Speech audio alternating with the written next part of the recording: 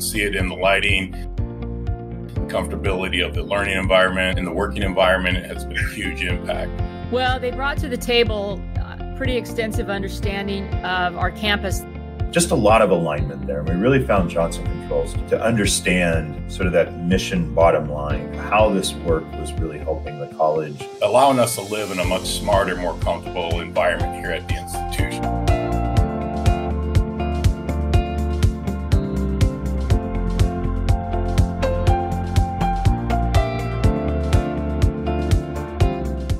Is Patty Scott, and I'm the president at Southwestern Oregon Community College. We were one of the first in Oregon to be formed by a vote of the people in 1961. When you think about sort of their role in the community, it's really critical having that kind of an educational institution, especially in some of the more rural parts of our state, somebody that provides uh, a, a meeting place, somebody that, that provides, in many cases, a sense of identity.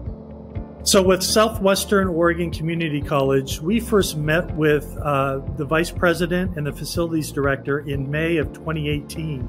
You got to imagine that many of the buildings or college campuses were built in the 60s and 70s. Much of our equipment is at the end of life or had already failed. So, some of the solutions that we brought to the table LED lighting, all throughout the campus. There was HVAC upgrades, boiler replacements, there was, of course, with Johnson Controls, we did a high tech uh, building automation system to allow the facilities team to be able to manage and monitor their energy performance in all of their buildings, whether they were on site or remote. What set them apart was they did have direct experience with the educational sector. You know, every college has its unique set of circumstances and priorities, but really the core issue that we were trying to address for the college and that they expressed to us was a priority is really uh, addressing deferred maintenance, where they have aging buildings, but yet no capital to really apply towards getting them uh, modernized. And we found ourselves needing to do upgrades to get a campus that was designed as a, as a commuter campus to be more accessible for students today who like to, to congregate and stay on campus between classes instead of coming and going.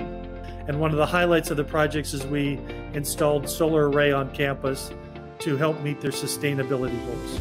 So, Energy Trust of Oregon is an independent nonprofit here in the state of Oregon. We we worked with them. We talked to them about the scope of the project. Uh, we talked about the kinds of programs that we have that can support different aspects of the project that they were thinking about. Our relationship with Energy Trust has been long-standing. We have been recognized by Energy Trust as being one of their top trade allies.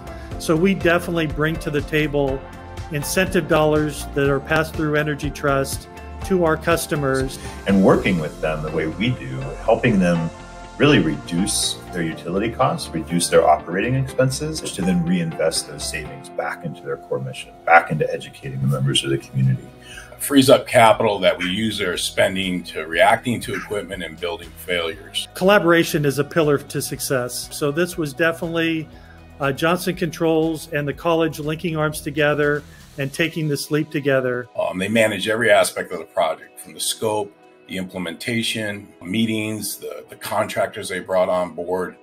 Their ground team was amazing. They were knowledgeable, professional, always willing to help or come up with a solution to unexpected problems you didn't even really know that the people were around. They they are really mindful of being on a college campus. Our team did a really good job of doing workarounds or working on weekends or nights to be able to get work done without interfering. Their energy savings per year are expected to be over half a million, around 560,000 kilowatt hours. We are going to leave this college in a better place than how we found it. It's going to drive sustainability for the college and it's going to position the college for future success. Prove basically the learning environment, not just for students, but for our entire workforce. Just an overall great experience that I would highly recommend.